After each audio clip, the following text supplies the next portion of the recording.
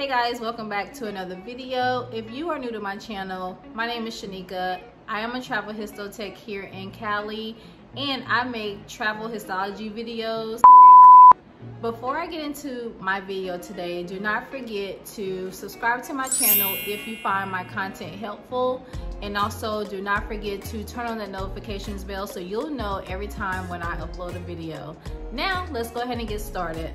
If you clicked on this video, then you are possibly thinking about becoming a histotech or you're thinking about becoming a traveler histotech. So first thing first is congratulations on making that hard decision on possibly changing your life for good. I'm going to tell you guys um, the different steps on becoming a travel histotech. I'll unpack a lot of things in this video. So please get something to write with. And at the end of this video, I will be featuring a question or comment of the day. It's easy to get overwhelmed very fast and very quick whenever you're considering becoming a travel histologist.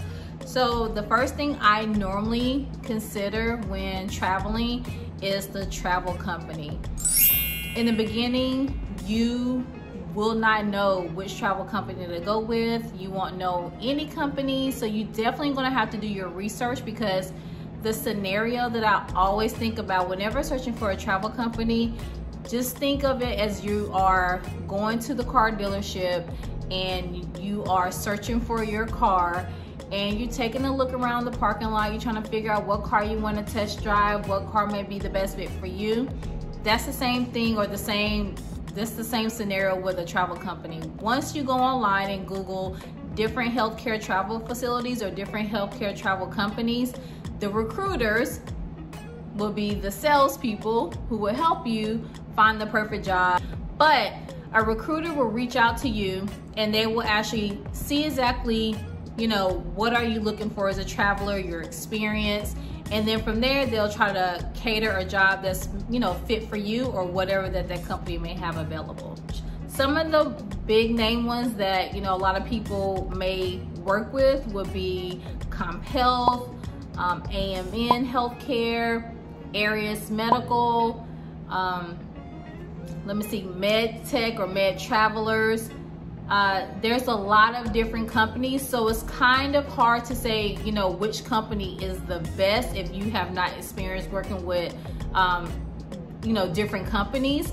But you won't know which one that you may want to take your first assignment with unless you do your research.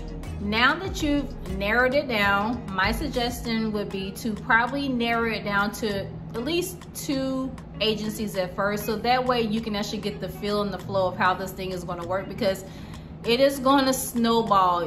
One minute you'll be on the phone with your recruiter, the next minute you'll be signing a contract, and then the next minute you'll be ready to move or go to your first assignment.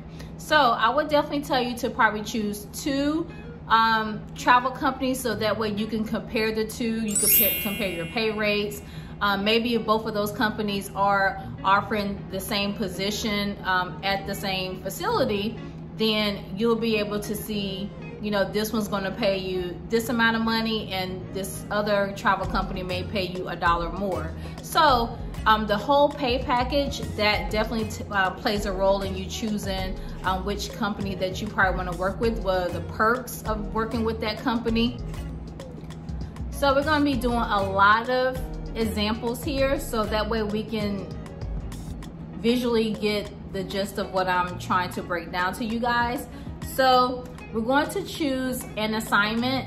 Um, let's just say we'll choose assignment in Washington, DC. Company A will offer you uh, $30, that's base pay. We won't even get into per diem. So just say they offer you $30 medical and dental.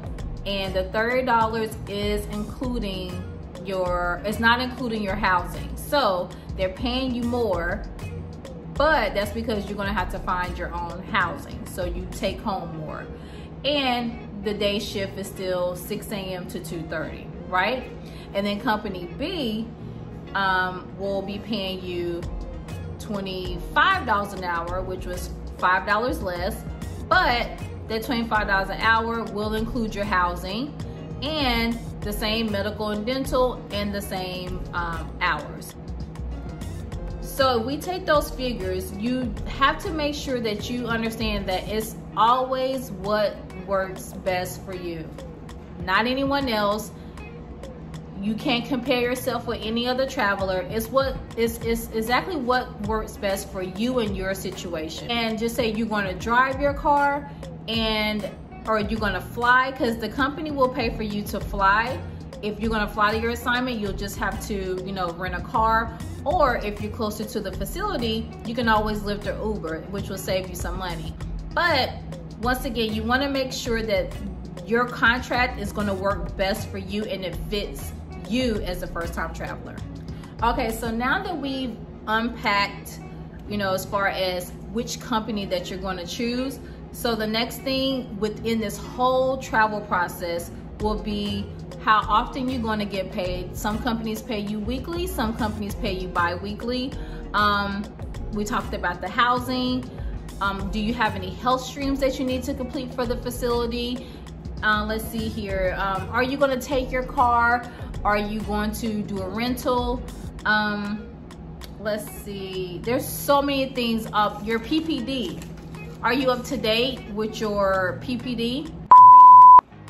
major key alert that's why it's important to have a great relationship with your supervisor even if you feel like that they may not be the best supervisor it's good to have relationships with histotechs and supervisors because when it's time for you to go to different facilities they normally ask for a supervisor reference now you're probably wondering, well, Shanika, how can I get an interview if I'm in a different state? Do I have to fly out there? How am I able to how am I supposed to be able to do an interview?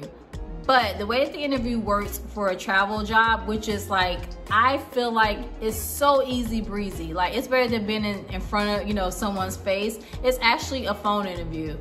Normally, um, the phone interview happens when the company is expressing interest in your resume or the travel company has a direct contact with the hospital. So you will probably get an interview very quickly.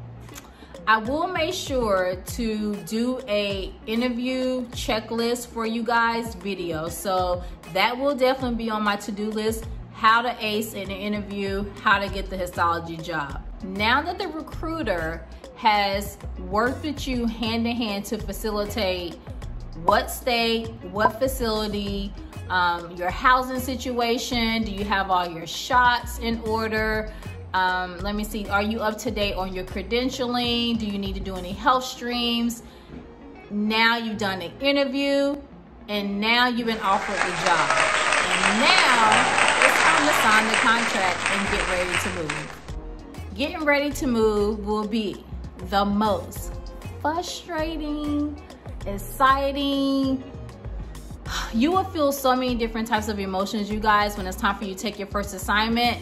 And you it, saying goodbye will probably be the hardest thing where there's going to be a 13 week assignment where there's going to be you know where you extend and you make it a whole year at a facility whatever type of traveler that you're going to be are you going to keep your home at your current traveling? Or are you going to keep your home at your permanent residence and you're just going to travel for the assignment and then come back home and then you'll choose another assignment and then travel? If that's the type of traveler that you're going to be, then that's great. If you are a traveler like me to where you only take a little break here and there between, you know, travel assignments, I actually moved um, and I do not have a permanent residence.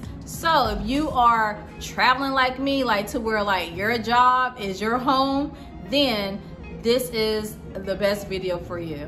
So it's time for you to get to your first assignment. So you're going to Washington, D.C., remember? Um, whenever you sign your contract, in the next two to three days, that's when housing will send you your new address. Housing will send you your information through a secure email and that way you can actually look up your address, you can know where you're gonna be living, and you can actually show up so that way you can go ahead and get settled before your first day of work. Just get to your apartment, unpack your clothes, make, you know, make yourself at home, go out and visit the grocery stores, go out to restaurants, just take a drive around so you can get the feel of your community my question of the day actually goes along with this video. This is from one of my subscribers, Yana, and this is from the video, Where Are the Histology Jobs, which I'll link over here so you guys can check that out. And she said, just in a general, can you do a video of questions to what you need to ask for the staffing company, considering traveling. A travel job just seems like a really big leap of faith if you are used to a permanent employer. Can you negotiate your pay, your housing, your pay schedule, your workload, and reciprocity? Yana, thank you so much for your question. I really appreciate it. And just like I've answered in this video, um, traveling is a really big leap of faith. Um, but whatever that you want to do in regards to your career is definitely going to be scary. And if it doesn't scare you, then you know it, it's not big enough, right? But as far as pay, you definitely can negotiate pay. That's why I gave the two examples earlier with company A and company B. Um, but as far as um, your pay definitely negotiable. It's either or but once you make a contract with one you can't switch and be like okay you know what? I can't find anywhere to live so i want you guys to find my housing. Because you've already started your contract and stuff like finding your housing that takes at least you know some time for them to be able to sign a lease and do what you need or do what they need to do the workload, again, that depends on the facility. Once you are doing your interview, your, your supervisor or your lead will let you guys know. Like I said before, it's definitely a big leap of faith. But once you do your contract and if you see, okay, this is not for me, traveling is not for me, I just really don't like it. But the great thing about traveling is that at the end of your travel assignment, if there are positions available, you actually have an opportunity to apply for those positions. All right, so that is it for this video of walking you step by step on what to expect before you take your first travel job. Once again, um, check out any other histology video that I got on my channel. If you enjoyed this content, definitely give me a big thumbs up, subscribe, and don't forget to turn your notifications bell so you can know when I upload another video.